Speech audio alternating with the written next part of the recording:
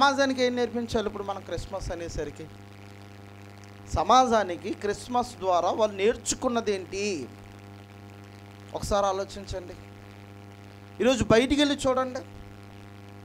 ఈరోజు బయటికి వెళ్ళి చూడండి ఏ సంఘములోనైనా సరే వాళ్ళ వాళ్ళ సంఘాల దగ్గర పెద్ద క్రిస్మస్ మీటింగ్ పెట్టారు. ఒక వీధిలో మూడు చర్చిలు ఉన్నాయనుకోండి ఉదాహరణకి. ఈ మూడు చర్చిల్లో క్రీస్తుకు జన్మదిన ఉత్సవం చేస్తున్నారు. యేసు ప్రభు వారికి పుట్టినరోజు చేస్తున్నారు. ముగ్గురు మైకు పట్టుకున్నారు. క్రీస్తు నేడు పుట్టెను అని అరుస్తున్నారు. ఏమండి? ముగ్గురు ఎవరికి పుట్టినరోజు చేస్తున్నారు? ఎవరికి? యేసు ప్రభుకేనా? మరి ముగ్గురు కలిసి ఎందుకు చేయరు? అంటే ఈయన నమ్ముకున్న యేసు ఆయన నమ్ముకున్న యేసు ఆయన నమ్ముకున్న యేసు ముగ్గురు వేరు వేరా?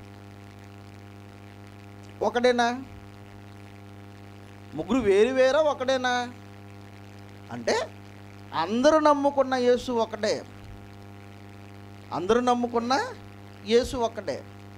అయినా అందరూ నమ్ముకున్న యేసు ఒకడే అయినా అందరూ కూడా ఒక్కటే పుట్టినరోజుగా క్రిస్మస్ పెట్టుకోవచ్చు కదా. ఎందుకు పెట్టుకోరు? మా సంఘం వేరండి మీ సంఘం వేరండి. అంటే సమాజానికి ఏం కనబడుతుంది అంటే అంటే సంఘాల వారిగా క్రిస్మస్ని ఏర్పాటు చేసుకుంటారు. సంఘాల వారిగా స్టార్ని పెడతారు. సంఘాల వారిగా సంఘం దగ్గర చిన్న పాక వేస్తారు. ఆయన పెద్ద పాక వేస్తే ఈయన చిన్న పాక వేస్తాడు. ఆయన పెద్ద స్టార్ పెడితే ఈయన చిన్న స్టార్ పెడతాడు. ఈయన చిన్న